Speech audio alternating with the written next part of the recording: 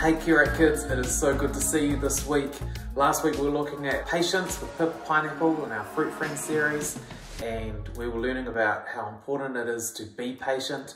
Man, we sent a bunch of pineapple lumps out to kids who entered the competition, so that was real fun.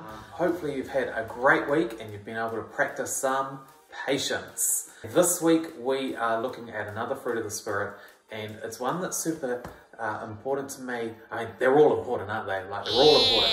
But kindness.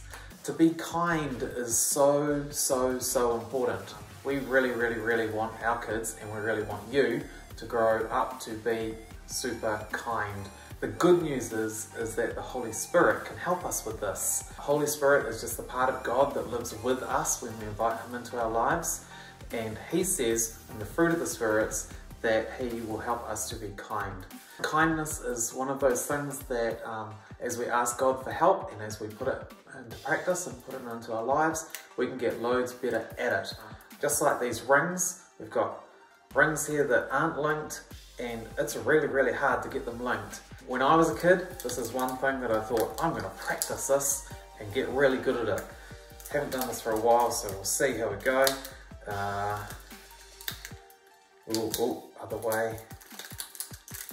With practice, you can do just about anything, and that includes being kind to people. Hey, there's a great verse in the Bible in Colossians 3, verse 12. It says, Since God chose you to be the holy people he loves, you must clothe yourselves with tender-hearted mercy, kindness, humility, gentleness, and patience. Hmm, I wonder what that would look like if you, um, once you finish watching this video, went to your wardrobe and put on like every single t-shirt you own. We choose to put our clothes on in the morning and we can choose to clothe ourselves with kindness. So I've pulled out all of my t-shirts. They're all, they're all here. I'm gonna see how long. Let's see. Okay, are we ready? Three, two, one, go!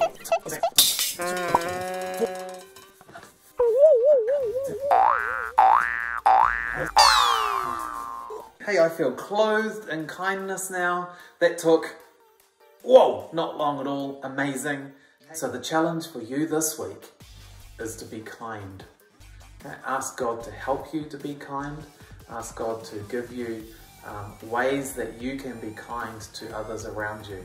Not just to yourself, although you should be kind to yourself, but to the people in your family, the people in your class at school, and the other people that you encounter around you. Have an amazing week. Let me pray for you now. Jesus, thank you so much for every single Curate kid. Thank you so much for their families. We thank you so much that you love us and that you are kind to us.